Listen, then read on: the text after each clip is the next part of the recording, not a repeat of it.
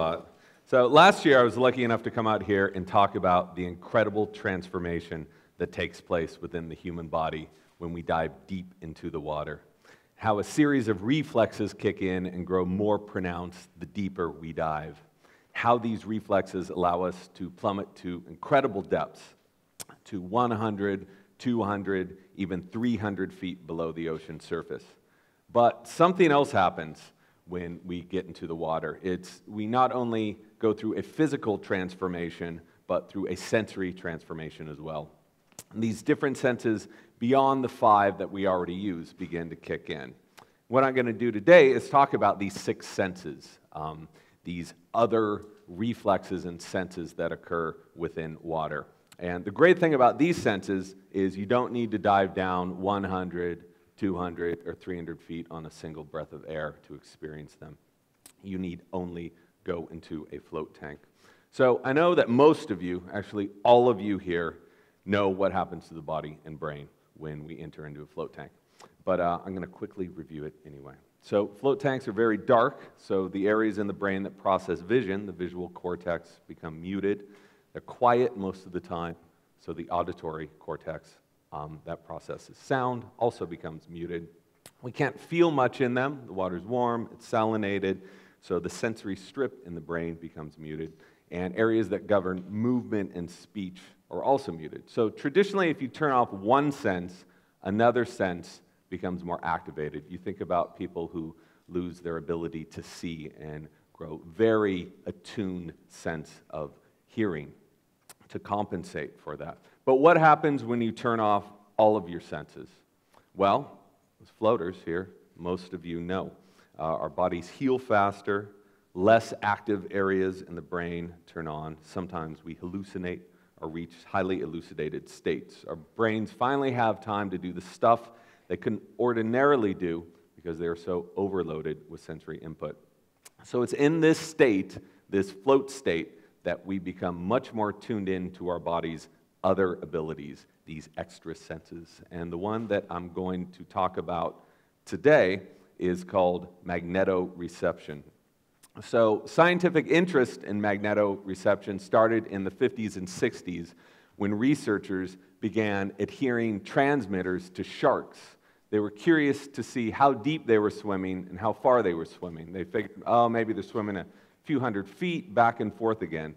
But what they discovered was totally amazing that these animals would go down to around 2,000, sometimes 3,000 feet, and they would swim head to tail in perfect unison. And they would follow an invisible line hundreds, even thousands of miles in the ocean, turn around and follow that same line back. Now, that's a really hard thing to do when you're able to see. But when you have no ability to use your eyes, thousands of feet down, it's completely black all the time, then how do you know where you're going? So here is an interesting study that was done a little while ago, and they adhered a transmitter to a great white shark on the coast of South Africa named Nicole. And three months later, they found that Nicole swam at a depth of around 1,000 feet and swam 7,000 miles to the coast of Australia. Then she turned around and swam back.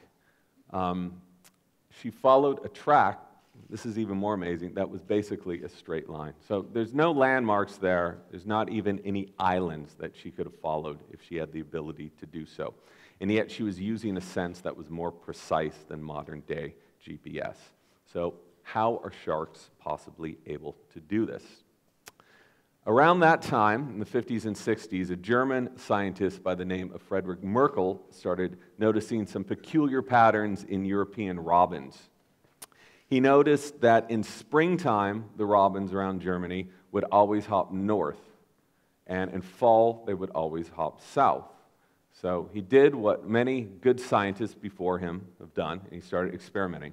He placed the robins one at a time inside these little buckets that would shield the sun, the stars, and everything. And he recorded what direction they were hopping in with a touch sensitive electrical pad. And this is what he found. In spring, they would always hop north. In fall, they would always hop south. In other words, they hopped in the exact same direction of their migration patterns, even though they had zero cues from anything else. With one exception, when he shielded the buckets with a magnetic, um, with a piece of metal that blocked all magnetic sense, um, this is what happened.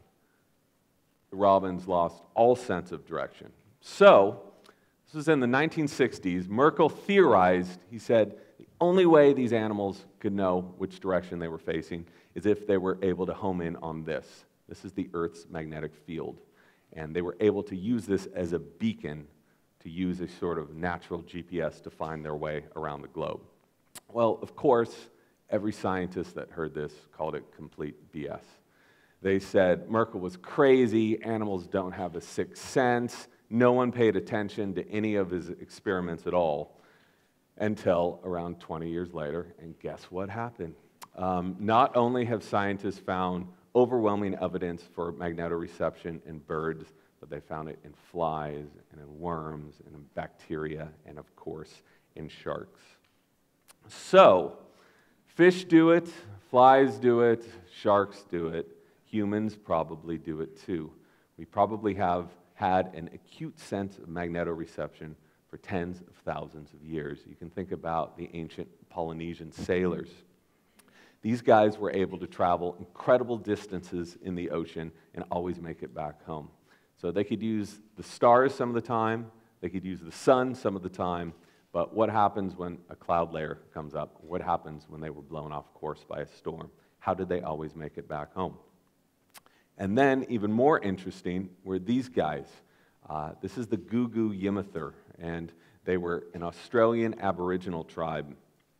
They had no words for right and left, but they do have words for north, south, east, and west. So if one of these guys was sitting on a bench and wanted you to make room for him, he wouldn't say, move over to the right. He'd say, move over to the east or move over west. They didn't bend backwards, they bent northwards or south. So the only way they could communicate with one another is if they knew their coordinates at all times, which is a really hard thing to do at night and which is almost impossible to do in an enclosed space. But they used this language for thousands of years, and they weren't alone. Uh, dozens and dozens of cultures had this directional language. Here's another one the Tzeltal of Mexico. These guys, again, didn't have words for right and left, but they do have words for north, south, east, and west. In the 90s, some researchers from Denmark took one of these guys at nighttime and placed him in a room and blindfolded him and spun him around 20 times and asked him to point the direction home. And he was able to do this consistently, without hesitation, 20 times. And I think the researchers just sort of picked up everything and left because it just didn't make sense otherwise. So, in the glory days of scientific experimentation in the 70s and 80s, there were hundreds and hundreds of studies done in human magnetoreception. They would blindfold people, they'd drive them out of town, they'd spin them around in chairs, they'd put them in dark rooms for hours at a time, and consistently these people were able to point their way home. Um, it, what was really interesting is that the more senses that were muted in these studies, if they were blind, if they had earplugs in, if they were placed in very calm rooms, the more heightened the sense of magnetoreception became. And the only times in which these people couldn't point their ways home was when they put a small magnet on their foreheads. They lost all sense of direction. The same thing happens with birds. The same things happen with turtles. If you put a small magnet on the head of a turtle or a bird, it will either swim or fly around in circles. It's really sad, so don't do that to your pet turtle when you go home today. It's, uh, leave it to the scientists to, uh, you know, make those animals suffer. So. Anyway, uh, we found out in the past couple years there's been a renewed research into human magnetoreception. Um, they found, some scientists about four years ago found a small protein in the human eye, which is the exact protein that fruit flies use in their eyes to find their way around the planet. Um, and it turns out that um, humans could unconsciously be using this protein to always know where north is or to find our way back home. And uh, it turns out also that humans have a small piece of magnetite in our foreheads in the exact same spot as birds and turtles. And we don't know if this is vestigial or if we're somehow using it the same way these animals use it to locate north, south, east, and west. So I know what most of you were thinking.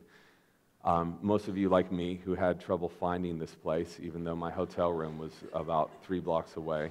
Um, that this is impossible. We don't have six senses. We can't possibly be able to home in on the Earth's magnetic field and find our way around the planet. But the fact of the matter is, we just don't need to nowadays. But hundreds of years ago, this ability was central to our survival. This is what Manhattan was supposed to look like 400 years ago. So you'd need a really good sense of direction just to make your way home every day, especially through heavily forested areas. This is what Manhattan looks like now. So you need absolutely zero sense of direction to make your way around. There are street signs, there are landmarks, and when in doubt, at any time, at any place on the planet, you can pull out your phone and know your exact coordinates at all times. So this skill of magnetoreception is probably latent, it's probably unused, but that doesn't mean it's gone away. And one of the best ways to reconnect with it and other six senses is to get in the water and float. Because when we float, we allow our brains and bodies to relax and reconnect with our more latent abilities. In many ways, floating is a key to explore our own untapped potential, whether it's healing our physical bodies faster triggering amphibious reflexes or homing in on the subtle pulsing energy of the Earth's magnetic field. So thanks a lot. Appreciate it.